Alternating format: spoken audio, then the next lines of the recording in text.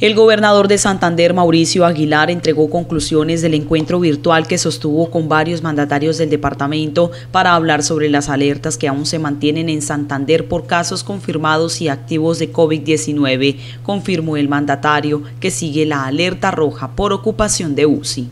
Haya todavía una disminución considerable o que esté por debajo del 75%.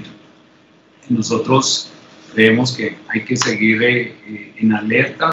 La estrategia PRAS, debemos seguir eh, manteniéndola y aumentando el aumento de los rastreadores, que también se pueda seguir desarrollando al respecto. Del encuentro participaron los alcaldes de Barranca Bermeja, Alfonso El Hash, del Socorro, San Gil, Barbosa y los del área metropolitana de Bucaramanga.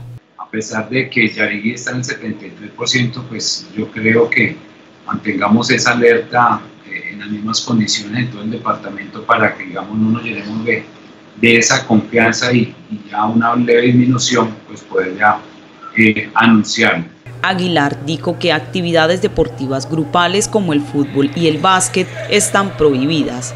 Los deportes al aire libre, pero individuales, que realmente mantengamos, eh, mantengamos esas medidas y la observación cercana a los municipios de afectación alta y desde luego, por último, en unas tres semanas estar evaluando eh, ya estas medidas o si de pronto vemos una, una gran disminución, pues de pronto reunirnos cuanto antes. Recuerde que el pico y cédula se mantiene solo para actividades bancarias y de compras al por mayor y depende del número del calendario.